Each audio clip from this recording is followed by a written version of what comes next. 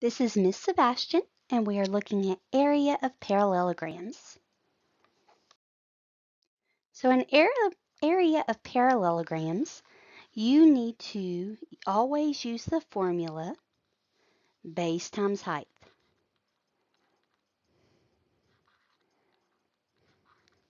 So on this problem, here is our base, and here is our height. You always want to use the height that is perpendicular to the base. So 22.1 times 10.3. And you can use your handy dandy calculators to multiply 22.1 or 22 and 1 tenth times 10 and 3 tenths. You do get 227 and 63 hundredths. And you always want to put our units there.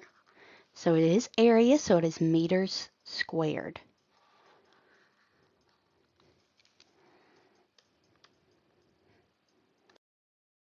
Number two, what is the area of this parallelogram? So we're going to find our base. It's both of these together. So I'm going to add those to find our base. So I'm going to add 6 and 5 tenths plus 6 and 9 tenths. So I get that our base down here is actually 13 and 4 tenths. So I know that I've got base times height. So our base is 13 and 4 tenths. And our height that is uh, sorry perpendicular to the base is 10 and 7 tenths. So now I'm going to multiply these two together. And I know that my area is 143 and 38 hundredths centimeters squared.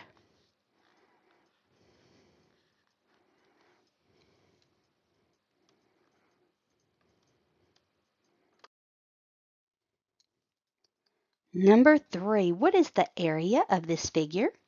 Well, it is a parallelogram, and I see that only part of it is mentioned down here. This length is not shown, but it is shown up at the top. So all the way across, I need to add those two again. So I've got area equals base times height. So my base, when I add 12 plus 5, that gives me 17. And the height is 14. You can use your calculator to multiply those. 17 times 14. And that gives me 238. We always have to have our units. So feet squared.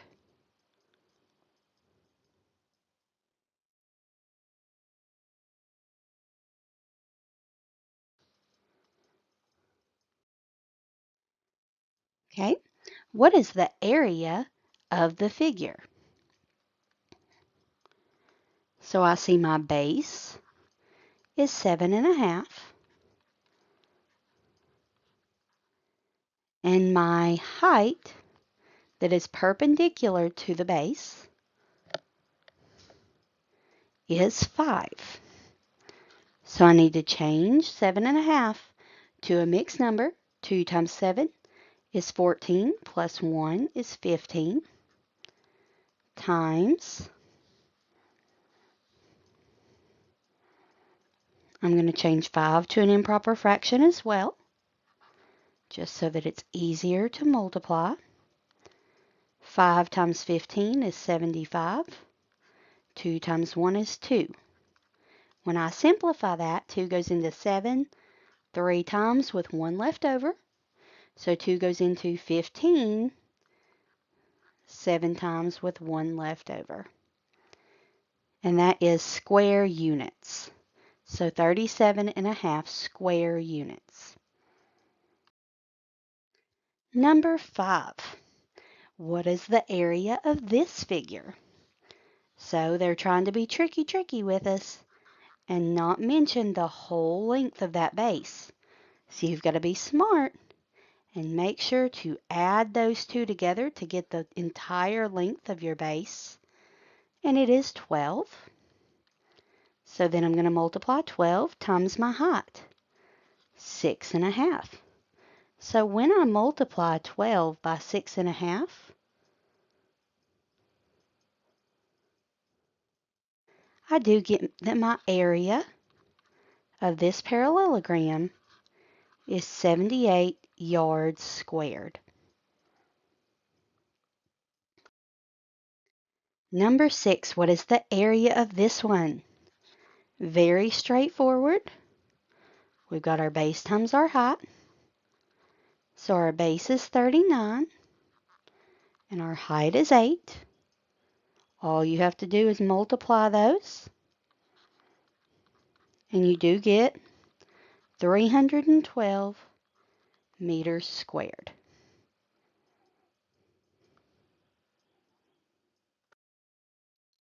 Number seven, Sophie needs to know the area of her backyard. The backyard is shaped like a parallelogram with a base that measures 24. So I'm going to go ahead and rewrite our formula. They told us our base is 24 and our height is 18. What is the area? So all I have to do is multiply those together. And I get that the area is 432, and this is meters squared.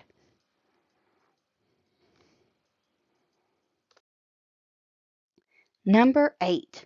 The floor in Jean's garage is shaped like a parallelogram with a base of 6 and a height of 7. What is the area of the garage floor? So I always write my formula first. It says the base is 6 and the height is 7. When I multiply 6 times 7, I get 42 and I need the units, that is meters. Area is always squared.